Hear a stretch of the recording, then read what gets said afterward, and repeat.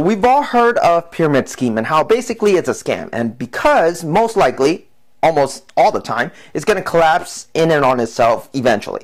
Now, here's the reason why. And it's actually very simple. We're going to simplify it using exponents to explain. Imagine this is the originator. Starts off at 1, has to introduce two new people. Two new people, not that bad. These two new people now have to introduce two more new people. That's 4. Not so bad. These four need to introduce two more new people. That's eight.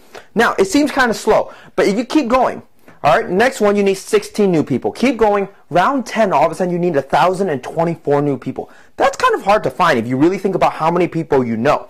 Now, from there, you go to round 20, you need a million and 48,576 new people. And then round 21, all of a sudden you double that. You keep going and eventually you run out of population to introduce to this pyramid scheme. Remember, they have to be new people. So where are you going to find all those people? Boom, collapse.